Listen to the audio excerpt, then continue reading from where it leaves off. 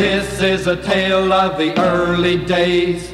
Back in the 30s, those restless days when underworld crime was an all-time high. This is a story of the FBI. John Dillinger was a bank robbing man who robbed and killed time and again. Betrayed by his lover, a lady in red. He was killed in 34 in a battle with the feds, the FBI.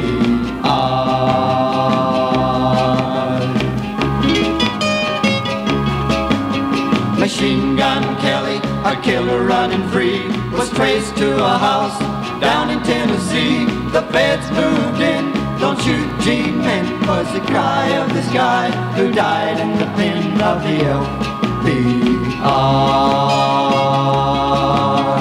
Omar oh, Barker and her gang of sons lived and died by the rule of a gun in the state of Florida. 1935, she battled it out but didn't survive the FBI.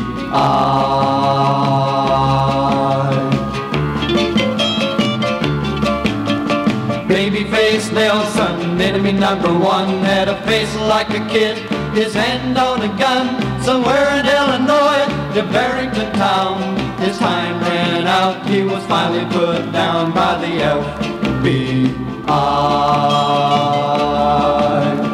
This is the end to the sad, sad tale. If the hoods weren't killed, they were thrown in jail. So